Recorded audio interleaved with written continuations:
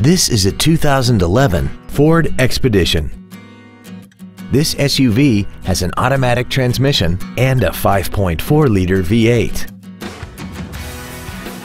Its top features include a double wishbone independent front suspension, power adjustable driver pedals, traction control and stability control systems, 100% commercial-free Sirius satellite radio, and a tire pressure monitoring system.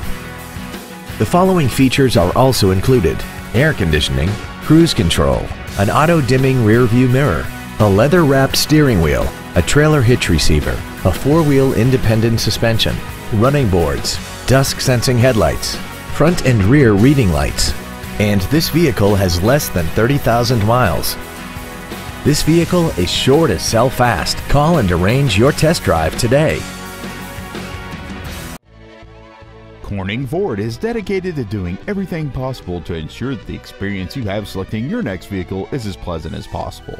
We're located at 2280 Short Drive in Corning. Get the best price the first time from our internet sales department and get one step closer to your next vehicle.